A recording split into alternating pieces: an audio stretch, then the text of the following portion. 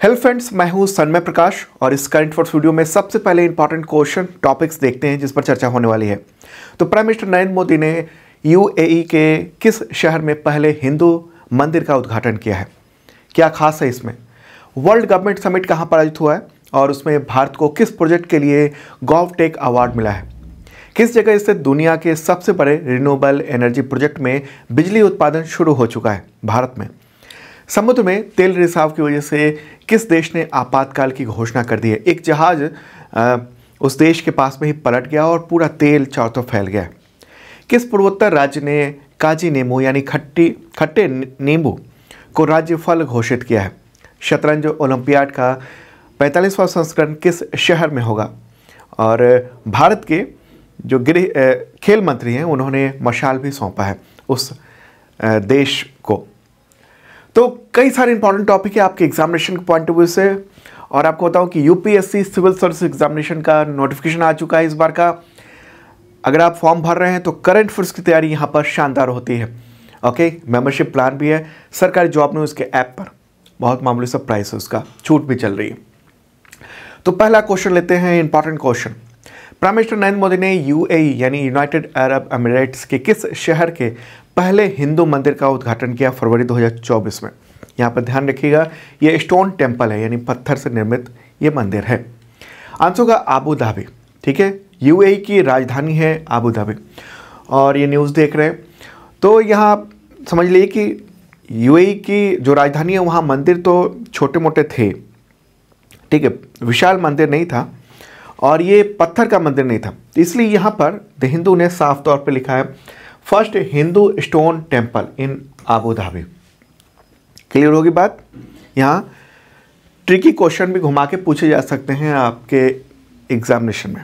Okay तो चौदह फरवरी को ये संयुक्त अरब अमीराट्स की राजधानी में ये मंदिर का उद्घाटन हुआ है। एक बार मैप देख लेते हैं यूएई का फिर और डिटेल बताते हैं आपको।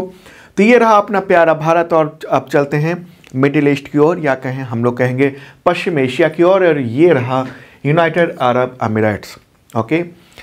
तो यहीं, इसी की जो राजधानी है, वहीं पर ये मंदिर स्थापित किया गया है। ये लॉन्ग व्यू है, जो मंदिर का यहाँ देख रहे हैं आप, शिखर, ठीक है? और अगर नज़दीक से चलेंगे तो ये है भव्य मंदिर। और इसे किसने बनाया? तो बी ए पी एस ने, यानी बोचास ने वासी श्री अक्षर पुरुषोत्तम स्वामी नारायण संस्था है, उसने बनाया।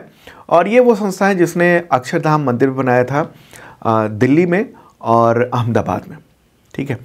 तो ये जो मंदिर देख रहे हैं आप शानदार मंदिर तो इसकी नक्काशी राज, राजस्थान में हुई है और ज़मीन आबू धाबी के जो प्रिंस उन्होंने दान की थी और हर धर्म के लोग जो है ना वो उद्घाटन समारोह में मौजूद थे। तो इस दौरान प्राइम मिनिस्टर नरेंद्र मोदी ने क्या कहा? उन्होंने कहा कि ये मंदिर दुनिया के लिए मिसाल है। और इसमें बड़ा योगदान मेरे भाई Sheikh bin Zayed al Nahyan, यानी यूएई के राष्ट्रपति का है। राष्ट्रपति नाहयान ने मंदिर के प्रस्ताव पर बगैर एक पल भी गंवाए हाँ कह दिया था। मिनिस्टर का कहना है कि उन्होंने, यानी अल नाहयान ने उनसे कहा था कि जिस ज़मीन पर आप लकीर खींच दोगे, वो आपको दूँगा। तो इस मंदिर के निर्माण के इतिहास के बारे में भी आपको बताऊँ। मंदिर का निर्माण का जो विचार है वो बी के आचार्य को 97 में आया था। और फिर 2012 में मंदिर के लिए ज़मीन तलाशने का काम हुआ। 2015 में प्राइम मिनिस्टर नरेंद्र मोदी जब यूएई के दौरे पे थे, तब मंदिर के निर्माण की योजना में तेज़ी आई। और जब मंदिर निर्माण की योजना पूरी बन गई, तब बड़ी चुनौती थी कि मंदिर की नींव बनाना। क्योंकि आबिद आबू धाबी जो है ना, वो रेतीली ज़मीन पर बना हुआ है। ये देख रहे हैं आप ना? इस तरफ़ पूरा रेत ही रेत दिख रहा है। रेतीली ज़मीन पर बना हुआ। लेकिन फिर जब एक्सपर्ट ने अलग अलग जगहों पर खुदाई शुरू की तो पता चला कि ज़मीन मतलब जिस ज़मीन पर मंदिर बनाना है, उसके नीचे कई किलोमीटर लंबी चौड़ी जो है ना, वो चट्टान है। और उससे इसको एक अच्छा बेस मिल रहा था। और 20 अप्रैल 2019 को प्राइम मिनिस्टर नरेंद्र मोदी और महंत स्वामी महाराज ने मिलकर शिलान्यास किया था और पाँच साल बाद अब चौदह फरवरी को प्राइम मिनिस्टर नरेंद्र मोदी और महंत स्वामी महाराज ने इस मंदिर का उद्घाटन किया। ठीक है, ये जो मंदिर है ना, वो 27 एकड़ में फैला हुआ है निर्माण पर लगभग 700 करोड़ रुपए खर्च हुए। ये मंदिर नागर शैली में बना हुआ है, महत्वपूर्ण बात ये ठीक है, क्या है? नागर शैली में बना हुआ है, और खास बात है कि आबू धाबी में किसी मूर्ति की नक्काशी नहीं की गई है। दरअसल हुआ ये कि दस हज़ार से ज़्यादा मूर्तियों और दूसरे इंफ्रास्ट्रक्चर का जो निर्माण है वो भारत में हुआ है, यानी राजस्थान के सिरोही और डूंगरपुर में, ठीक है? और इसके बाद बड़े बड़े ट्रॉलों में जहाज़ में रख कर इसको मुंद्रा पोर्ट ले जाया गया गुजरात के यहाँ पर। और फिर इस यहाँ राजस्थान से गुजरात गुजरात से फिर यहाँ से शिप के ज़रिए यहाँ पर पहुँचाया गया। और फिर उसको उस मंदिर स्थल पर लगाया गया और तमाम पिलर्स को जोड़ा गया और वहाँ जो है ना वो मंदिर को उसका कायाकल्प किया गया है। ठीक है? और ख़ास बात है, यहाँ पर मैं ये दिखा देना चाहता हूँ, ये सात, देखिए, यूएई जो है वो सात अमीरातों से बना हुआ है, एक संघ है, और उसमें Abu Dhabi, Ajman, Dubai Fujairah, Ras al Khaimah Sharjah, उम अल कोन है। तो इस चीज़ को ध्यान में रखते हुए मंदिर के सात शिखर बनाए गए हैं, सेवन। और सात हिंदू देवी देवताओं को विराजमान यहाँ पर किया गया है। सात गर्भगृह हैं।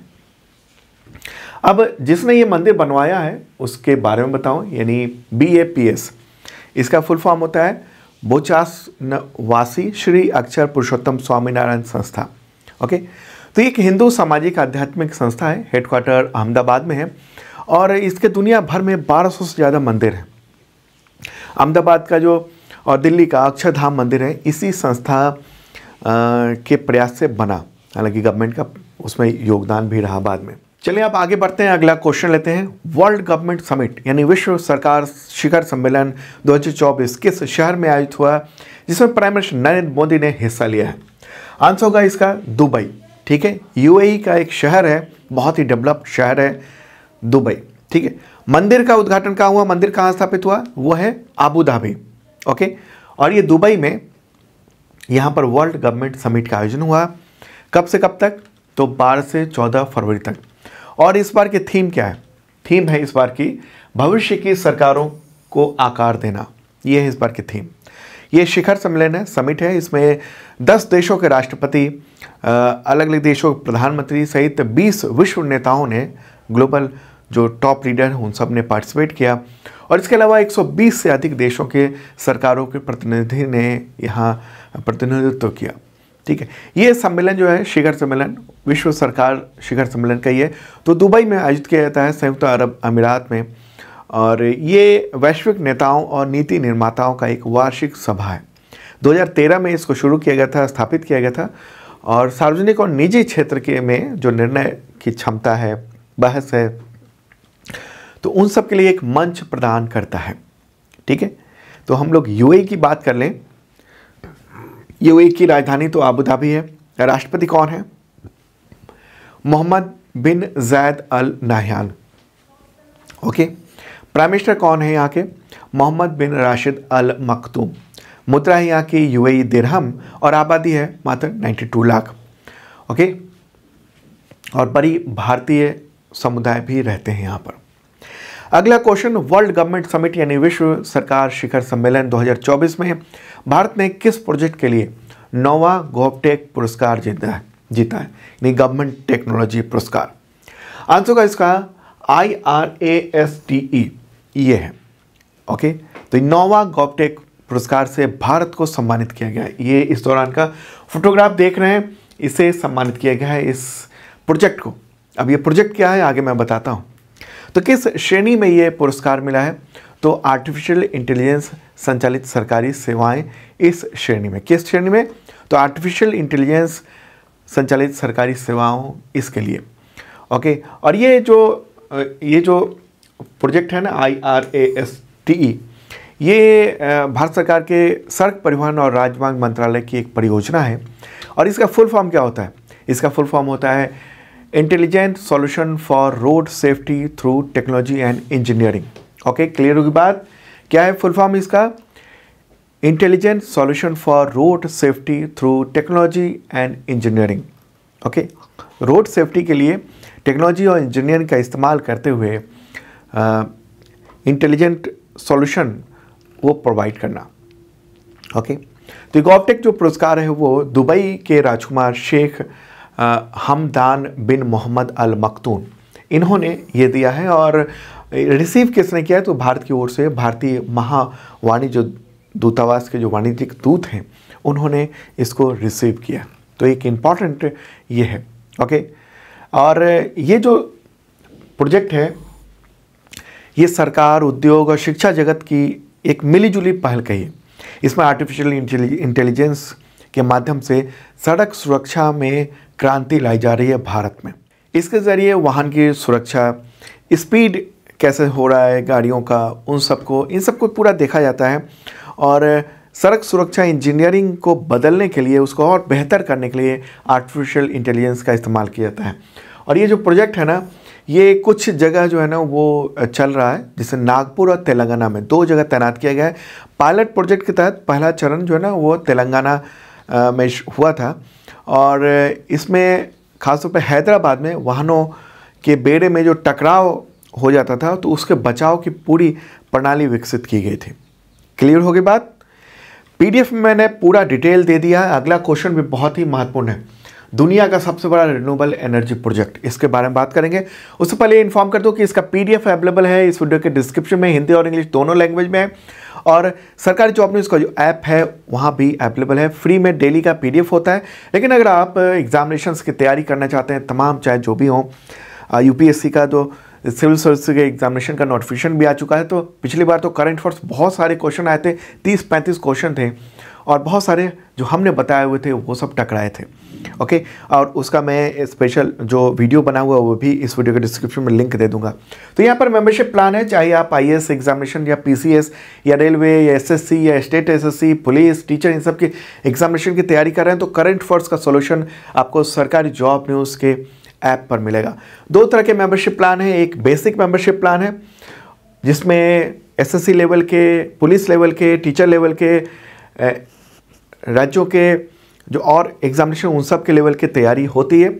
और दूसरा जो है ना, वो है I S P C S level का एग्जामिनेशन की तैयारी। बहुत ही मामूली सा प्राइस है, छूट चल रही है, बस कुछ ही वक्त के लिए। ओके और इस सब के ज़रिए आपको करंट फोर्स का पीडीएफ मिलता है वीडियो मिलता है और टेस्ट मिलता है मॉक टेस्ट पीडीएफ आपको पिछले दो सालों के मिलेंगे क्योंकि एग्जामिनेशन में पिछले दो सालों तक के क्वेश्चन आते हैं और अगले एक साल तक आपको करंट फोर्स का, यानी तीन सौ पैंसठ दिनों तक करंट फोर्स का अपडेट मिलता रहेगा। Daily update PDF weekly monthly quarterly yearly Hindi और इंग्लिश दोनों लैंग्वेज साथ में वीडियो होगा इसी तरीके से।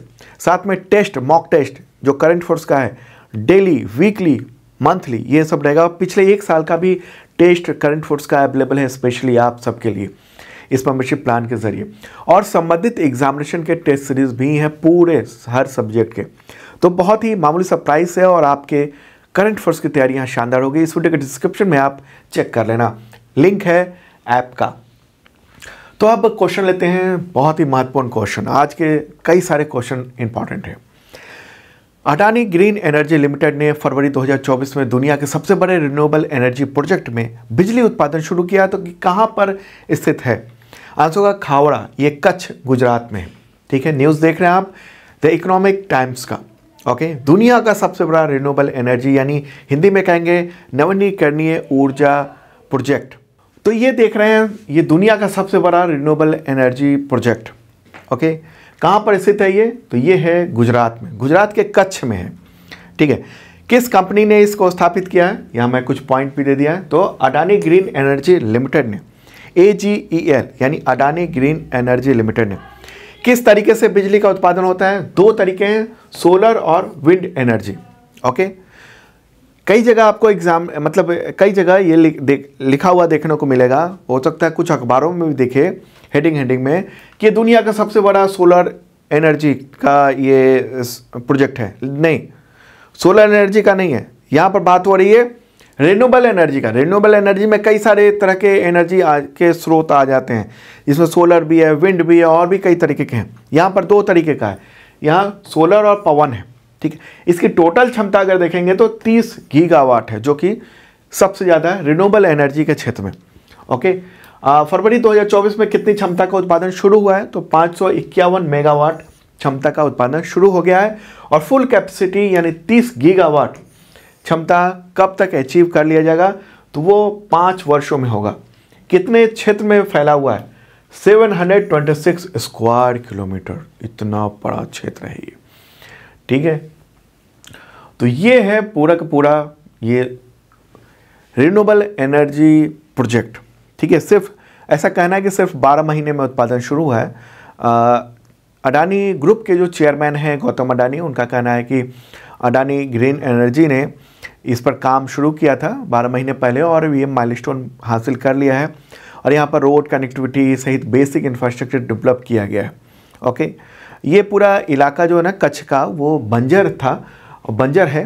तो वहीं पर इसको स्थापित किया गया है ताकि कोई एग्रीकल्चर लैंड या कोई इंपॉर्टेंट लैंड का दोहन ना हो। ठीक है? तो ये दोहन केवल और केवल बंजर ज़मीन का किया जा रहा है।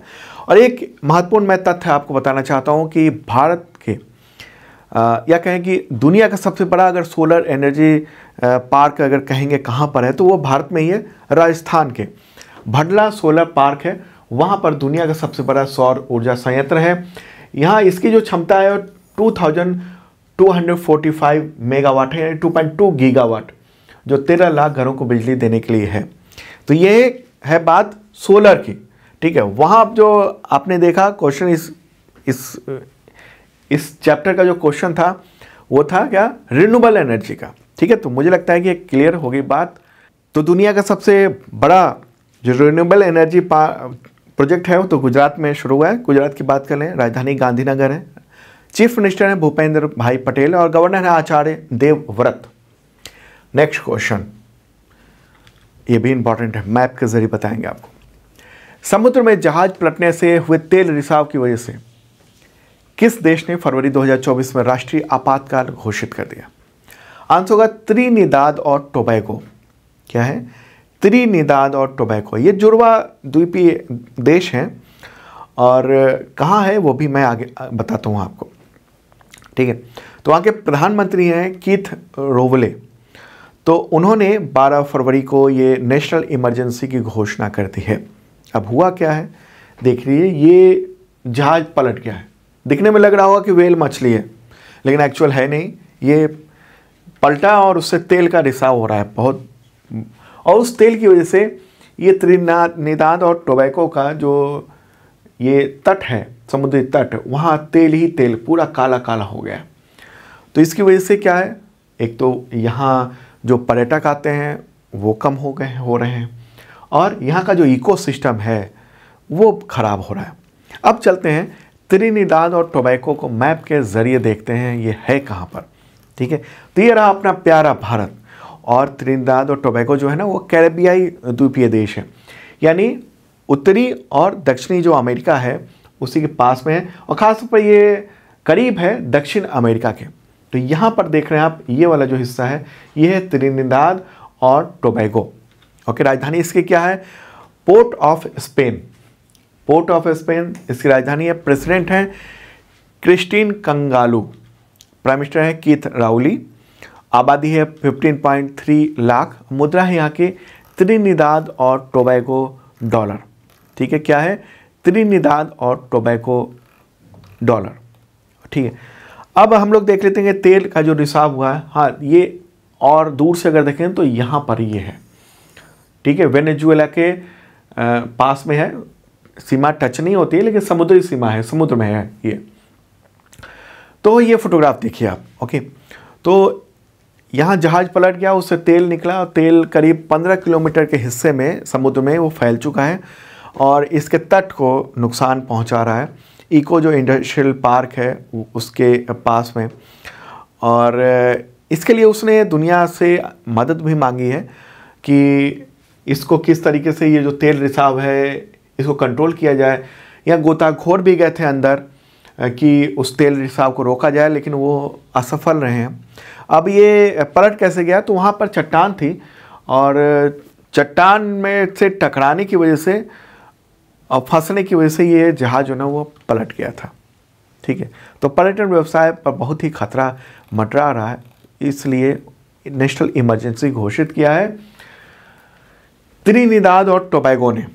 अब आगे बढ़ते हैं, अगला भी क्वेश्चन महत्वपूर्ण है। किस पूर्वोत्तर राज्य ने काजी नींबू यानी खट्टे नींबू को राज्यफल घोषित किया है? आंसर होगा असम, ठीक है?